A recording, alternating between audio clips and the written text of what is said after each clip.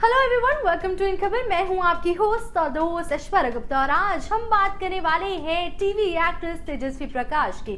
जी हाँ, Tejasswi Prakash big boss 15 का ताज अपने नाम करने के बाद से ही लगातार सुर्खियों में है। इन दिनों Tejasswi super natural TV show Naagin six में नज़र आ रही है। इसके अलावा टीवी सीरियल स्टार अपनी लव लाइफ को लेकर काफ़ी ज़्यादा चर्चाओं में बनी रहती है। जी हाँ हम सब ही जानते हैं कि करण कुंद्रा तेजस्वी प्रकाश एक दूसरे से कितना ज़्यादा प्यार करते हैं और साथ ही दोनों आए दिन अलग अलग जगह स्पॉट होते रहते हैं।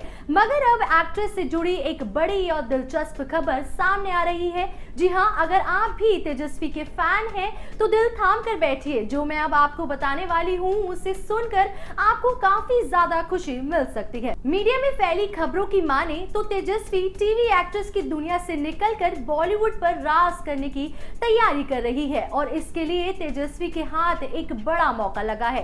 सामने आ रही ताज़ा रिपोर्ट्स की माने तो तेजस्वी प्रकाश के हाथ फ़िल्म स्टार आयुष्मान खुराना की upcoming film dream girl two लग गई है। एक रिपोर्ट्स में दावा किया जा रहा है कि तेजस्वी प्रकाश ने निर्देशक राज शांडलिए की फ़िल्म ड्रीम गर्ल टू के लिए अपना ऑडिशन दे दिया है। आयुष्मान खुराना और Nushrratt Bharucha starrer film dream girl का पहला पार्ट साल 2019 में रिलीज़ हुआ था।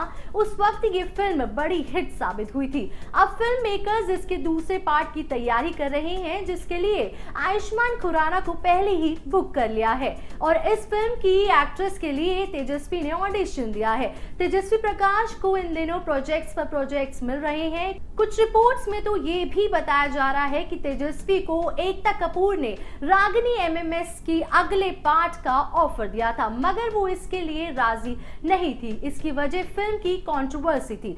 इसके बाद एक्ट्रेस को लेकर अभी ड्रीम गर्ल टू के लिए बातचीत चल रही है।